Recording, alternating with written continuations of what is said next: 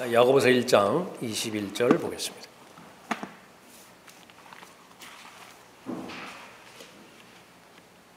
(21절부터) (25절까지) 받들어 읽겠습니다.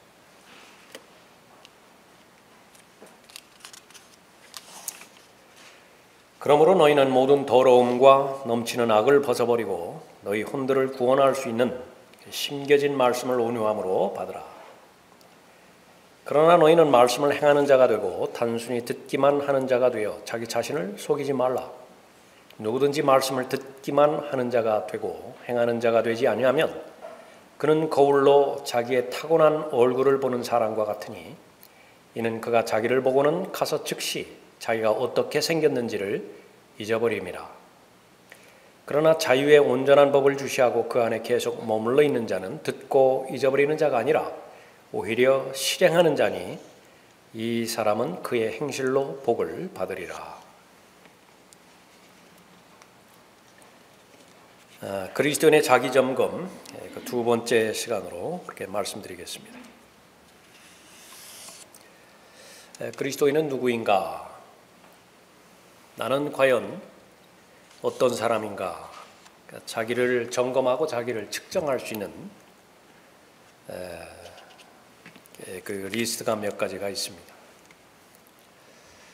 아, 내 마음 가장 깊은 곳에서 내가 가장 원하는 것은 무엇인가? 곰곰이 생각해 보는 거예요. 그러니까 실제적으로 나는 무엇 지금 가장 원하는 것인가? 하루를 살아가면서 또 일주일을 살아가면서 가장 많이 생각하는 것은 무엇인가? 내가 아, 해야 할 일들 다 끝나고 내게 자유 시간이 주어졌다고 한다면 그 자유 시간을 어디에 보내는가?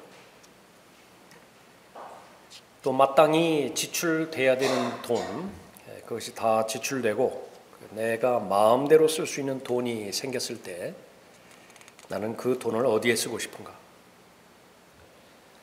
예, 무엇을 할 때 나는 가장 좋은가?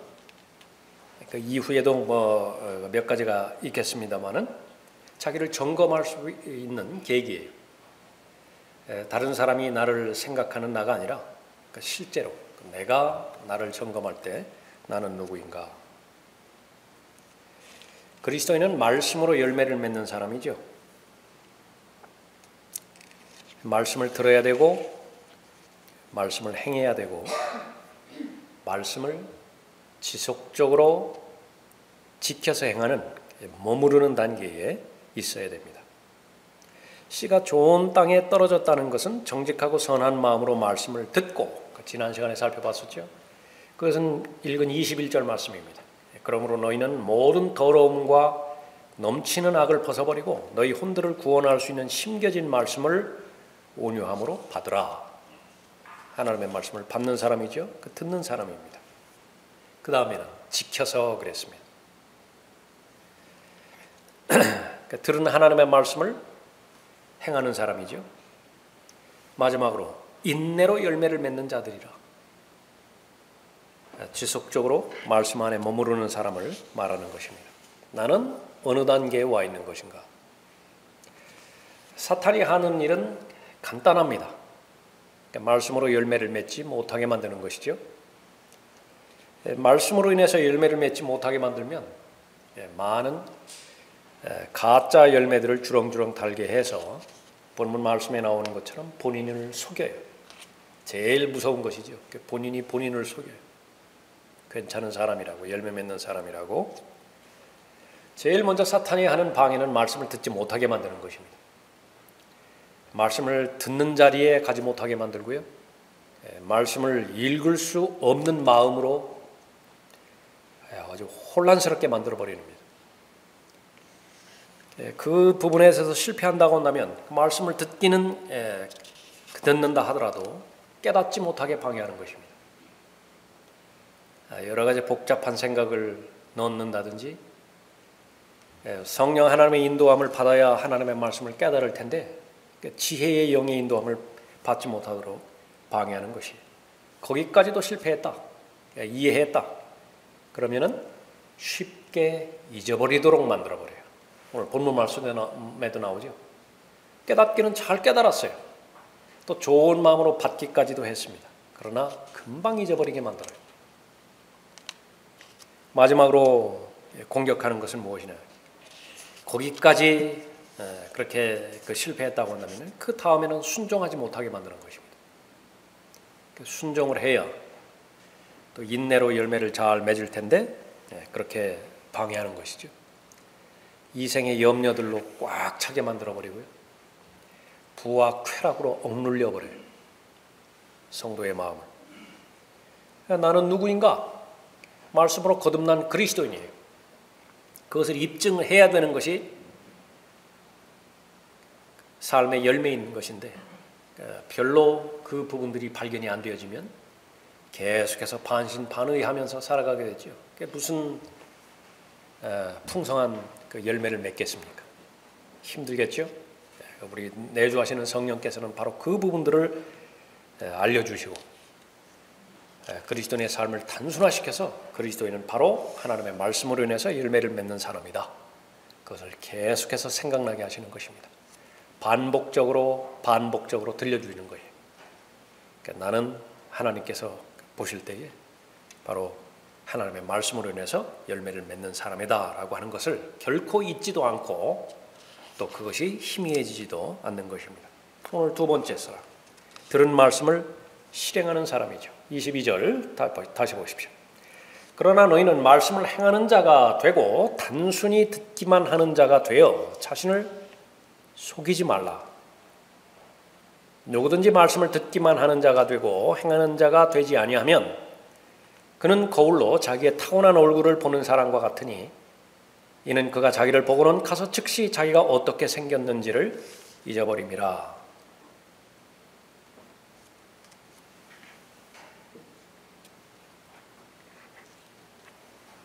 하나님의 말씀을 듣는 사람, 그것은 하나님의 말씀을 믿는 사람인데, 하나님의 말씀을 들어도 믿지 않는 사람은 어떤 사람인가? 성경을 이용하는 사람이에요. 이것은 아주 끈질긴 공격입니다. 아, 얼마든지 마귀는 종교적인 형태로 사람들을 그 낚아채, 낚아챌 수 있어서요.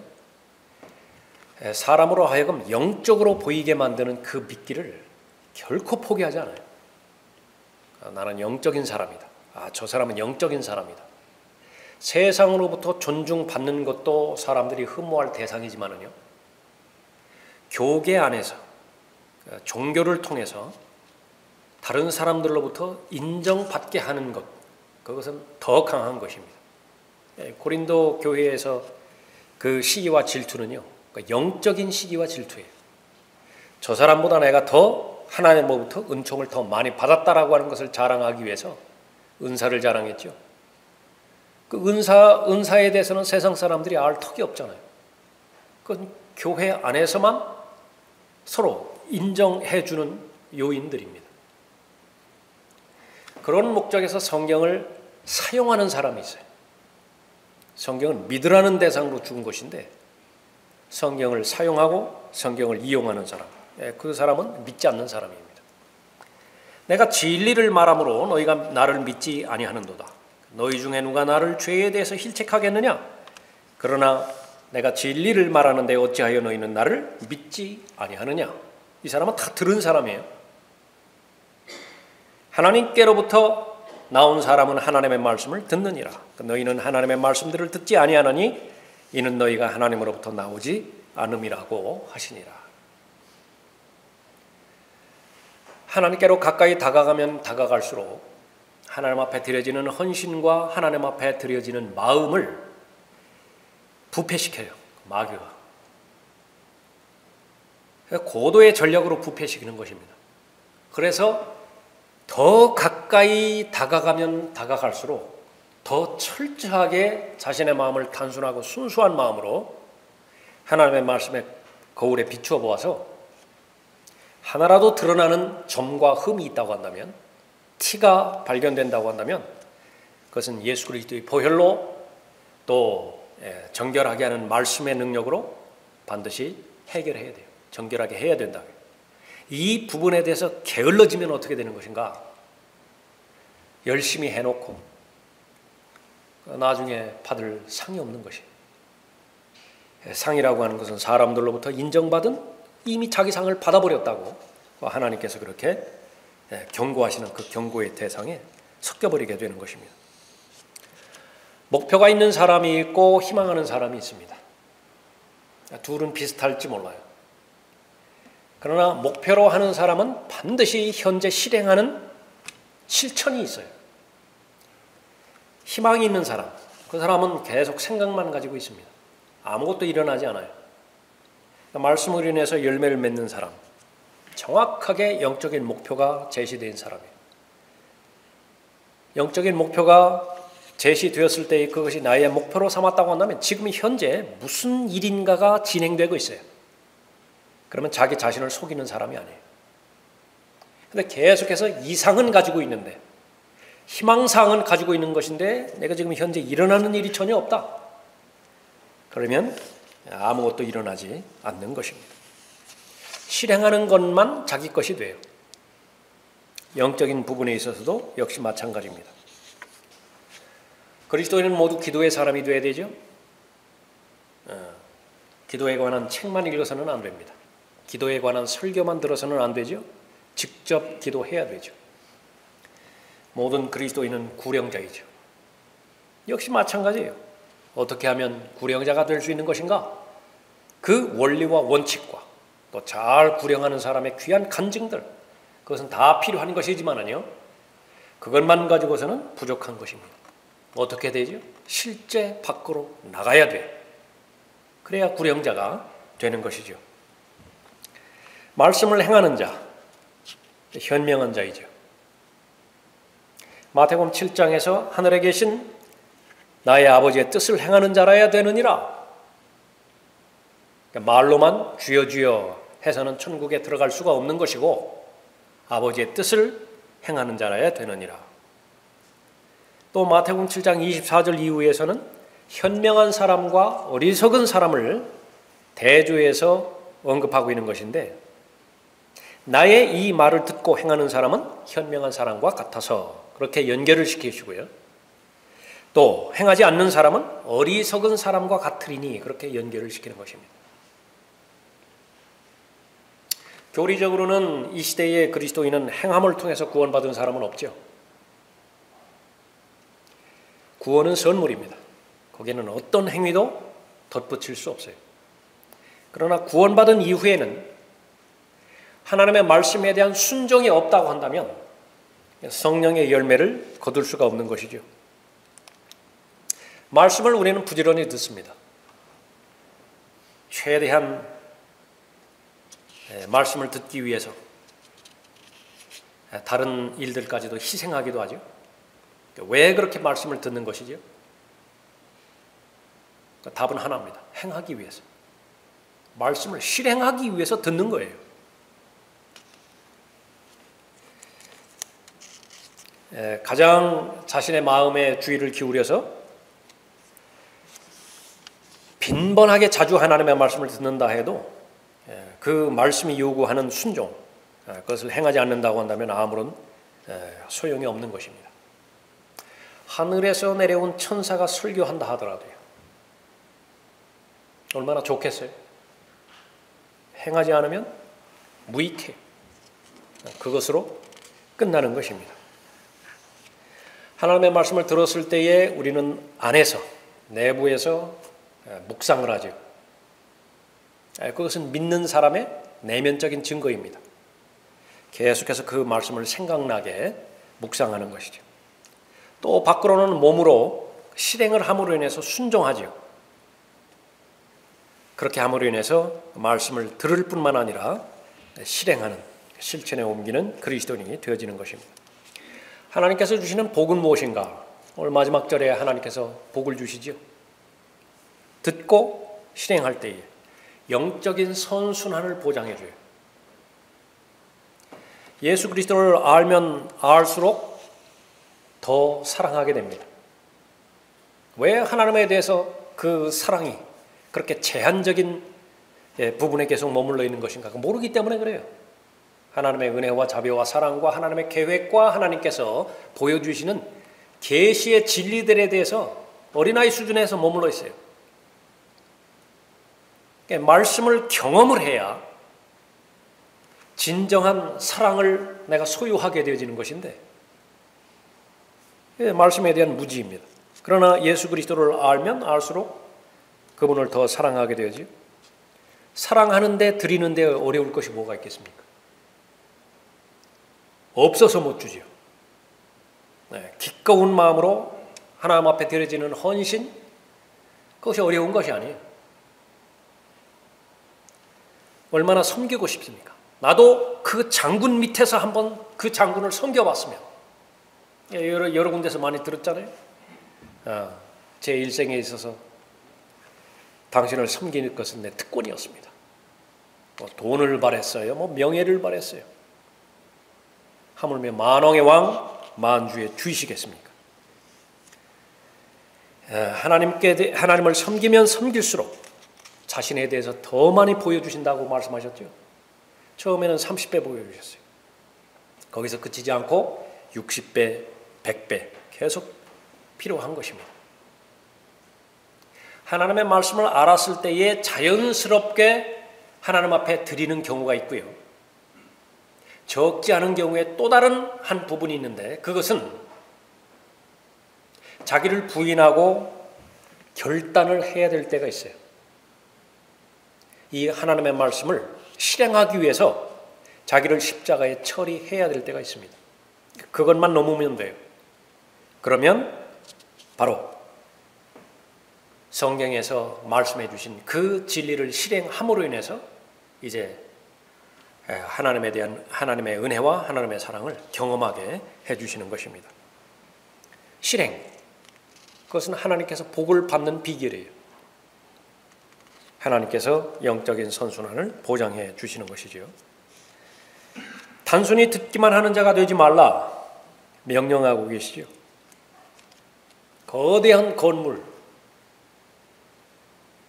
다리를 건너는 교량, 반드시 필요한 것인데 계속 설계도만 붙잡고 있어요.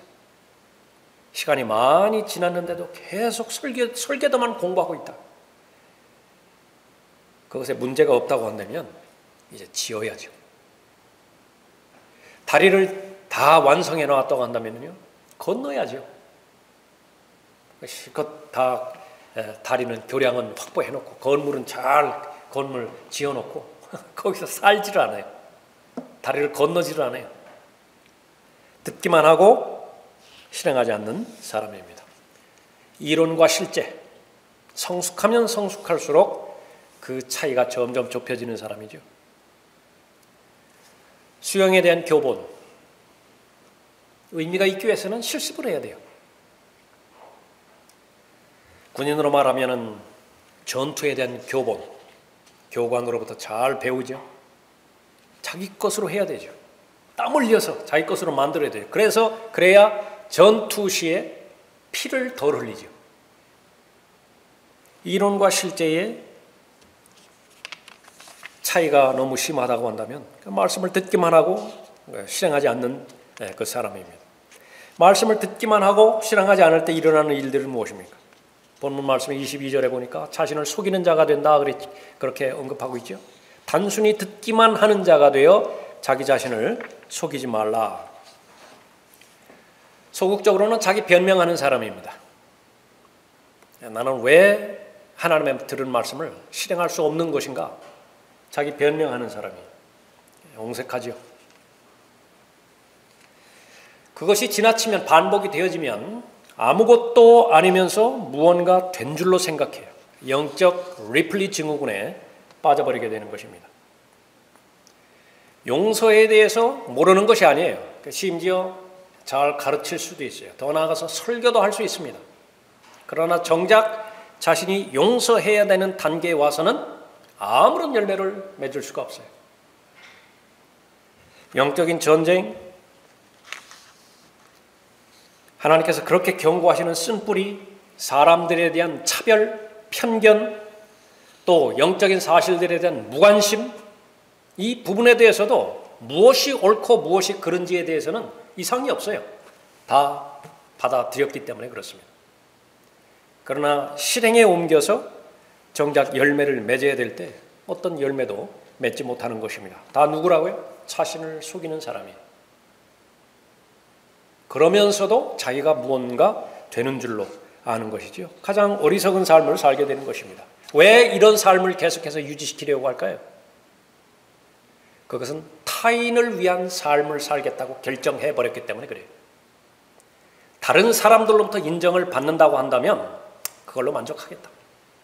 하나님으로부터 인정받고 하나님으로부터 승인받는 것 그것은 잘 안 믿어져요. 그래서 자기 자신에게는 정직하게 말하면 그냥 이생뿐이에요. 그리스도의 심판서, 휴거, 재림, 천년왕국, 새 하늘들, 새 땅 이것은 그냥 이론이에요. 교본에나 나와 있는 것입니다. 아직 자기 것이 되어 있지 않았습니다. 또 하나 말씀을 듣기만 하고 실행하지 않을 때 일어나는 일들은 어떤 것인가? 자신을 잊어버리게 되는 것이 23절, 24절에 있는 것처럼 자신을 잊어버리는 사람은 어떤 사람인 것인가? 목적을 잃어버리는 것과 똑같거든요. 목적이 없어요. 목적이 없는 삶은 아무리 새벽부터 새벽잠 줄이고 밤잠 줄이고 일을 한다 하더라도요. 하나님께서는 그 사람을 게으르다 그렇게 평가를 해버리는 것입니다. 그 방황하는 삶이지. 목적을 향해서 나아가는 순례자. 예, 그런 삶이 결코 아니기 때문에 그래요. 아, 게으름은 악한 것이죠. 실제 삶을 살아가는 데 있어서도 있고 또 하나님의 말씀 가운데서 아, 영적으로 무관심하고 영적인 목표가 희미해지고 그런 것은 악한 것이에요. 그 나쁜 것을 나쁜 것이라고 하는 수준을 넘어가 버리는 것입니다. 오늘날 대다수의 사람들 라우디케아 시대에서 고백하는 것처럼 부족한 것 없지요. 목마르지 않지요. 배고프지 않지요. 그러나 하나님 보시기에는 그처럼 굶주린 사람들이 없는 거예요. 왜 그렇습니까? 다 게을러서 그래요. 무엇이 필요한지조차 알지 못할 정도로 그렇게 움직이기를 싫어하는 사람들입니다. 마땅히 해야, 행해야 되는 자신의 의무가 있어요. 예, 그리스도인이라고 한다면 실제적인 부분에서 지역 교회 회원이라고 한다면 의무가 있을 거 아니겠어요? 거기서부터 시작해서 개인적으로도 성장하면 성장할수록 하나님께서 부여해 주시는 특권을 누리는 것만큼이나 행해야 될 의무가 있죠. 그 의무에 대해서 다 저버리는 사람이에요. 하나님의 말씀은 반드시 열매를 맺기 위해서는요. 추수의 법칙을 반드시 제시를 하세요. 봄에 씨를 뿌리고 여름에 거두려고 하는 것은 도둑이라고 언급하는 것입니다. 그 강도예요. 그건 도박이에요. 근데 자꾸 씨 뿌린 다음에 바로 열매를 거두려고 하는 것입니다. 인내와 절제와 오래 참음이라고 하는 그 열매를 거두, 거두기 위한 모든 과정들을 일체 생략해버리고 그냥 영적인 한탕주의. 어느 날 갑자기 어, 큰 회개의 기도를 해서 갑자기 어, 개과천선을 그렇게 바란다든지 예, 여러 번 말씀드렸지만 단 한 번의 설교로 완전히 고꾸라져서 완전히 다른 사람으로 이렇게 되기를 원한다든지 그 역시 마찬가지로 미혹당하는 거예요. 그런 열매는 없어요. 하나님께서 계기를 주실지 모르지만은요. 그 계기가 의미가 있기 위해서는 그 기회를 사서 얻으려고 한다면 지속적으로 계속해서 하나님의 말씀을 듣고 하나님의 말씀에 순종하고 그렇게 해서 게으름, 게으름으로부터 벗어나야 되는 것입니다. 지금까지 하나님의 말씀으로 인해서 자신의 마음이요, 그 믿음의 그 영역이 잘 정돈이 되었죠. 하나님에 대한 사랑과 또 잃어버린 혼에 대한 연민의 정이 잘 질서를 찾아가지고 영적인 우선순위가 잘 자리 잡혔어요. 그런데 어느 순간부터 듣기만 하는 자가 되어버렸어요. 하나님의 말씀을 실행하지 않게 되어지죠.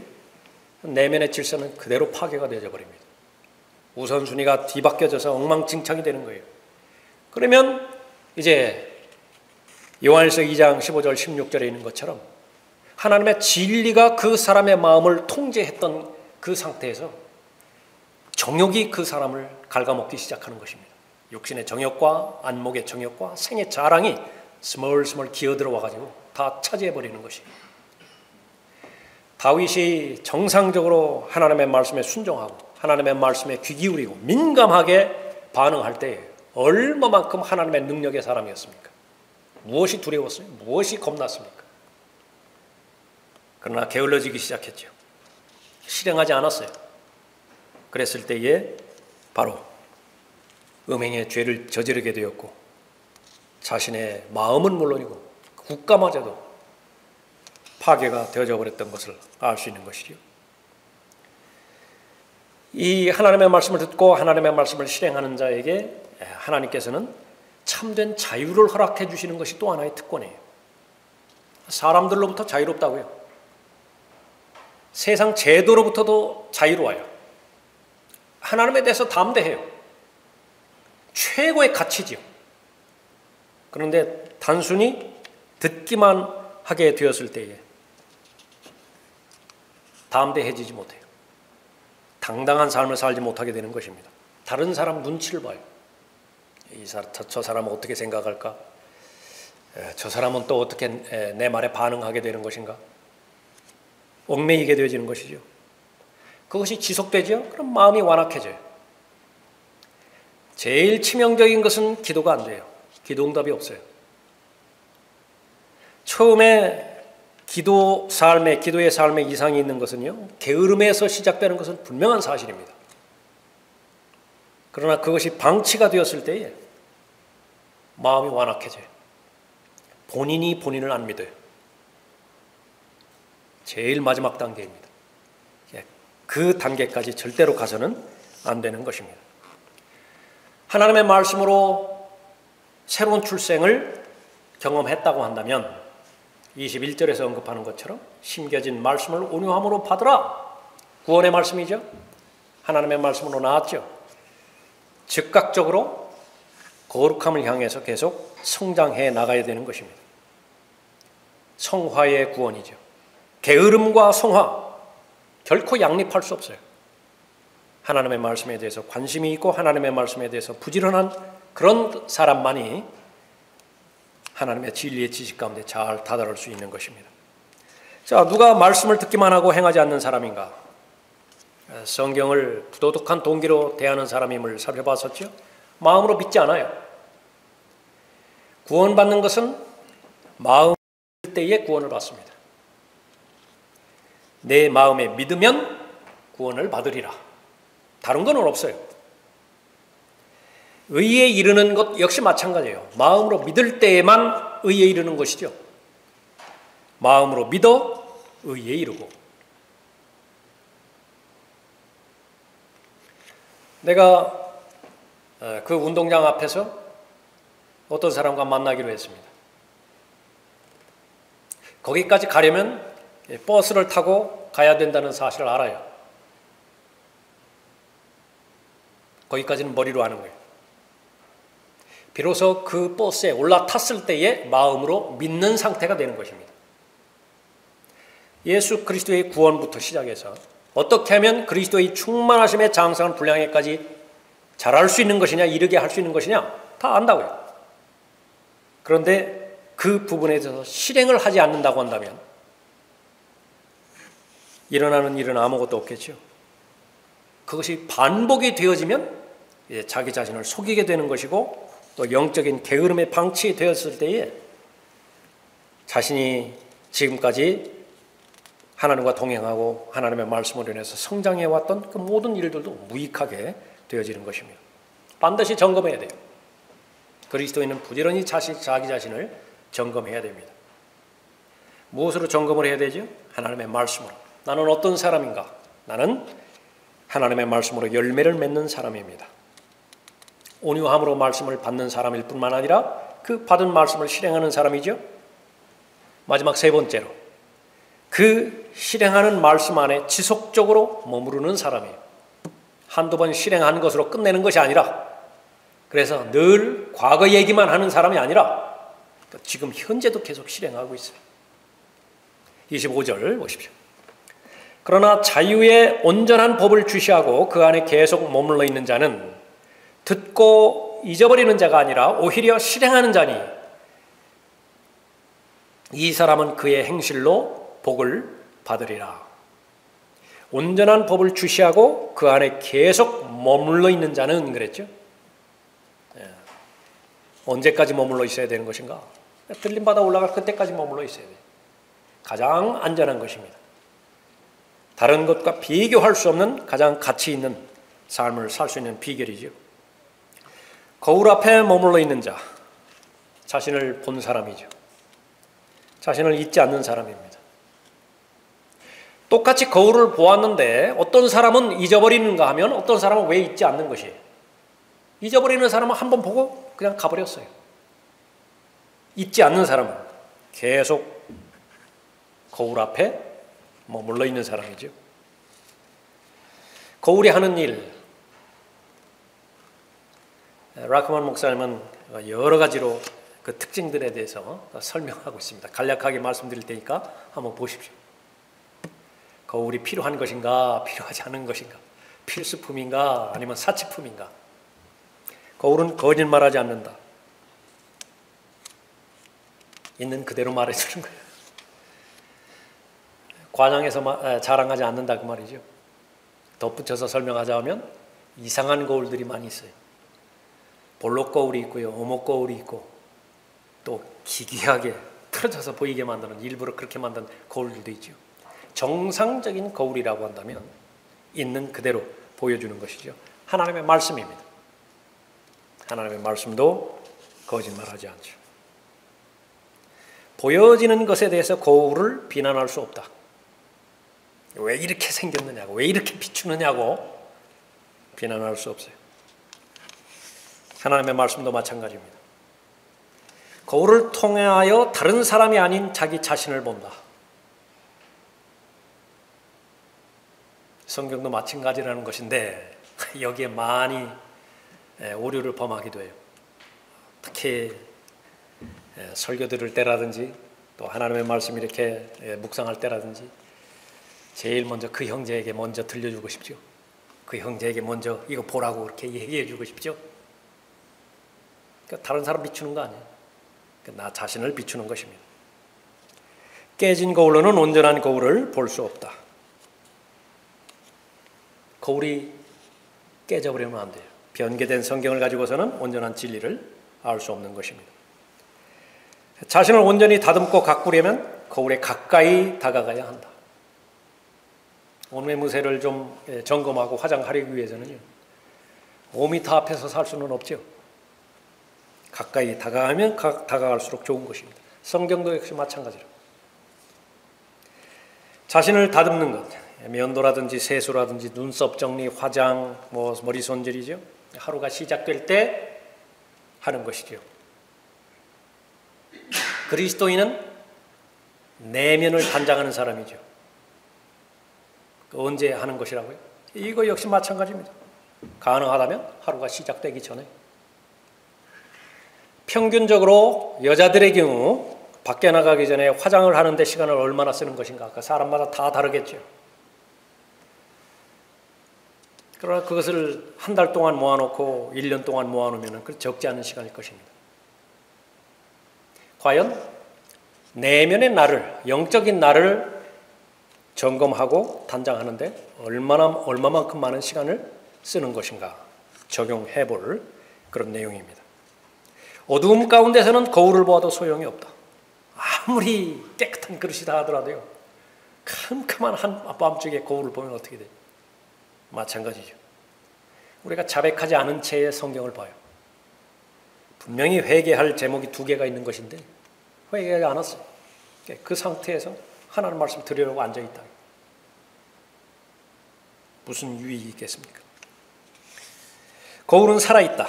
예, 거울에 비치는 당신이 성장하는 대로 비치는 모습도 성장한 모습이다. 다섯 살 때 거울을 봤죠. 현재만 비춰요. 현재만. 열 살 됐을 때 거울 보면은 다섯 살 때 모습을 비춰주지 않아요. 아, 열살 때 모습 비춰준다. 거울은 그런 기능이 있는 것입니다. 성경도 마찬가지. 그래서 살아있는 책이라고 그랬다고. 한 번 읽고 그냥 끝내버리는 책이 아니라 아, 스토리만 기억한다고 해서 심지어 암송한다고 해서 더 이상 유익을 주지 않는 책이 아니라 항상 살아있어요.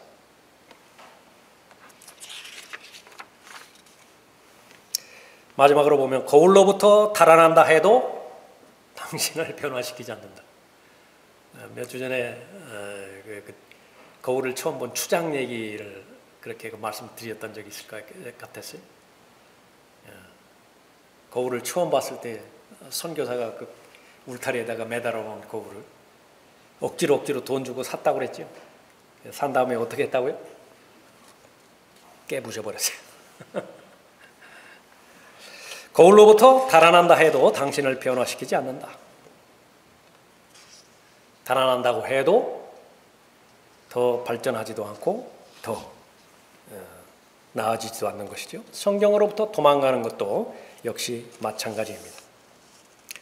자, 하나님께서는 말씀 안에 지속적으로 머무르는 자녀에게 복 주시는 것인데 그 가운데 하나는 자유를 주세요.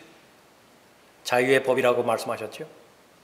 요한복음 8장에서 예수 그리스도를 알고 예수 그리스도를 잘 배운 특권 한마디로 말한다고 한다면 그것은 자유를 주는 거예요. 죄로부터의 자유, 세상으로부터의 자유. 그 자유는 내 하고 싶은 일 마음대로 방종하라라고 하는 그 의미가 아니라 마음껏 하나님에 대해서 가까이 다가가라. 마음껏 자유대로 하나님을 섬기라라고 하는 부분이죠. 존 웨슬리, 요한 웨슬리 1703년에 출생해서 1791년에 사망했습니다. 장수했죠. 죽기 5일 전까지도 32km 떨어진 곳에 구령하러 갔었습니다. 닷새 전에. 60년 동안 변함없이 새벽 4시에 일어나서 기도하고 성경을 보았습니다. 평생 동안 평균 2시간에서 4시간 동안 설교했고 4,000편이 넘는 설교를 하였어요. 200권 이상의 책을 저술했습니다. 순회 설교자였죠. 그때는 말 타고 돌아다녔는데 합산해 보니까 지구를 열, 바, 열 바퀴 돌고도 남는 거리였습니다.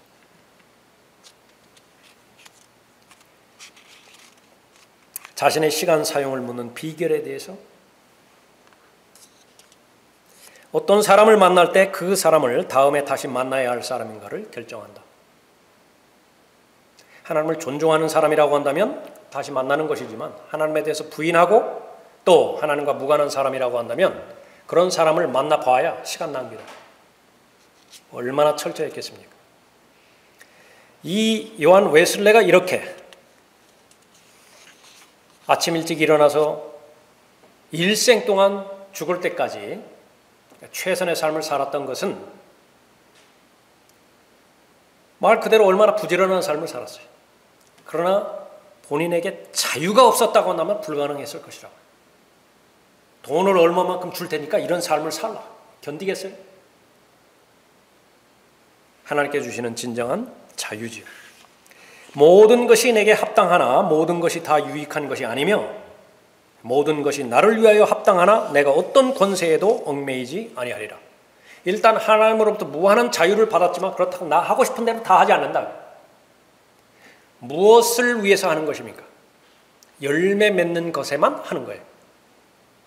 그것이 바로 영적인 성장과 관련이 있는 것인가? 그렇다면 하는 거예요. 그러나 그것이 아무리 합법적이라 하더라도 그걸 해도 죄 짓는 것은 아니에요. 심지어 잘못도 아니에요. 그러나 이미 하나님으로부터 목적을, 목표를 부여받은 나는요, 그렇게 무익한 데 시간을 쓰고 싶지 않다고요. 아울러서 나는 하나님 한 분만으로부터 통제받는 사람이지 다른 어떤 것으로부터 통제받는 사람이 아니에요. 나쁜 습관이라든지 게으름이라든지 더 나아가서 어떤 형태의 중독이라든지 거기에 나 자신을 가두는 것이 예, 가두는 것이 아닌 것이죠. 모든 것이 내게 합법적이라고 해서 모든 것이 유익한 것이 아니요 모든 것이 내게 합법적이라고 해서 다 세워주는 것이 아니니라. 그리스도인이 어떻게 자유로운 삶을 살 수 있는 것에 대한 바로 가장 중요한 원리가 되어지는 구절이죠. 그리스도는 자신이 원하는 거 뭐든지 다 할 수 있어요. 아, 술, 담배 해도 됩니까? 해도 돼요. 그거 한다고 해서 구원이 취소되는 거 아니에요. 구원에 관한 그런 것입니다. 그러나 그런 것에 자신을 방치할 그리스도인이 없겠지요. 정상적인 그리스도인이라고 한다면 무엇을 하는데 자신의 마음을 초점을 맞추겠습니까? 열매예요. 열매 맺는 삶이라고요. 열매 맺는 삶에 전혀 도움이 안 된다. 시도조차 하지 않을 것이라고. 초신자 때는 분별하지 못하니까 이것저것 다 시도해보기도 하고 덥석 물기도 하고 그랬을 것이라고. 그러나 이제 하나님께서 더 깊이 더 깊이 보여주셨고 보여주시는 때마다 마음으로 받아들이고 또 하나님의 말씀에 순종했더니 더 멀리 볼 수 있는 영적인 안목을 보여주신 것이죠. 그러니까 초점은 하나입니다. 열매 맺는 것이 말씀으로 인해서 열매 맺는 것이죠. 모든 것이 내게 합법적이라고 해서 다 세워주는 것이 아니니라. 모든 것을 다 할 자유가 있지만 그것을 행해 본 결과 그리스도의 충만하심에 장성한 분량에까지 이르는 데 있어서 단 1cm도 성장시켜 주지 못하더라. 뭐하러 반복을 해요? 시간은 제한되어 있는데. 내가 사용할 수 있는 기회도 제한되어 있는데. 어리석은 사람이 아니죠? 예. 그리스도인의 자기교회 점검. 나는 어떤 사람인가? 하나님께서 말씀하시는 정의하시는 그리스도인은 바로 요한복음 10장 10절에 기록된 것처럼 풍성한 삶을 맺는 사람이죠. 그것은 열매 맺는 삶을 말하는 것입니다. 말씀으로만 열매를 맺을 수 있어요. 그것을 방해하기 위해서 갖은 계략과 책략을 동원하는 것이 마귀와 사탄의 공격이고 하나밖에 없습니다. 그 말씀 듣지 못하게 만드는 거예요. 이해하지 못하게 만들고 잊어버리게 만들고 순종하지 못하게 만들어 버리는 것입니다. 거기에 걸려들었다고 한다면 다른 거 다 하라. 경배 드리려면 경배 드리라. 예, 종교 활동하려고 한다면 다양한 프로그램 다 만들어서 다 하라. 그러나 말씀으로 인해서 열매만 맺지 말라. 무엇이 열매를 맺지 못하게 만드는 것인가? 첫 번째, 두 번째, 세 번째 단계. 예, 오늘 이 시간에 예, 여러분 기도하실 때에 여러분의 마음의 상태를 역시 하나님의 말씀에 거울로 잘 비추, 비추셨죠? 예, 반드시 성령 하나님께서 말씀하셨을 것이라 지금 어떤 단계였는가? 제일 좋은 단계는 지속적으로 하나님의 말씀 안에 머무르는 단계겠죠. 하나님 앞에 감사드리십시오. 다른 거 없다 하더라도요. 거의 가진 것이 없다 하더라도 계획한 일이 잘 안 된다 하더라도 말씀으로 인해서 열매 맺고 그 열매 맺는 삶이 계속해서 유지되어진다고 한다면 그 최고의 삶을 사는 것이에요. 그 부분에 여러분의 믿음의 분량에 비해서 미치지 못하는 부분이 있다. 오늘 역시 마찬가지로 제일 우선적으로 하나님 앞에 간구하시고요. 요청드리고 그 부분들을 반드시 회복시켜 주시라고 요청드리고 또 여러분이 준비해 오신 기도의 제목들 또 하나님 앞에 간구하시기 바랍니다.